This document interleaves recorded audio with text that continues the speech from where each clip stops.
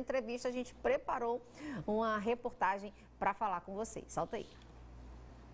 Começou o mês mais romântico do ano. E olha que talvez o Brasil esteja com sorte no jogo, viu? Porque no amor as coisas não estão indo tão bem. De acordo com os dados, os brasileiros estão se casando menos e, quando casados, ficam unidos civilmente por menos tempo. Quer ver? Os números da última pesquisa são de 2019, que mostra que o Brasil teve cerca de 28 mil casamentos a menos do que no ano anterior.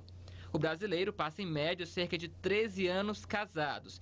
Esse número também tem diminuído ao longo dos anos. Para muita gente, nada de casamento, viu? De acordo com a última pesquisa feita pelo IBGE, no Brasil nós temos cerca de 90 milhões de solteiros, é isso mesmo. Em 10 anos, o número de pessoas que vivem sozinhas, por exemplo, cresceu de 10,4% para 14,6%. Agora dá uma olhada nos motivos da decisão de morar sozinho. 25% querem se sentir mais independentes, 23% querem ser mais livres e 50%, a grande maioria, querem ter mais privacidade. Agora, os que defendem a solteirice que me perdoem, mas dividir o caminho com quem a gente ama pode muitas vezes deixar a vida ainda mais leve. Olha aí, gente. E aí, você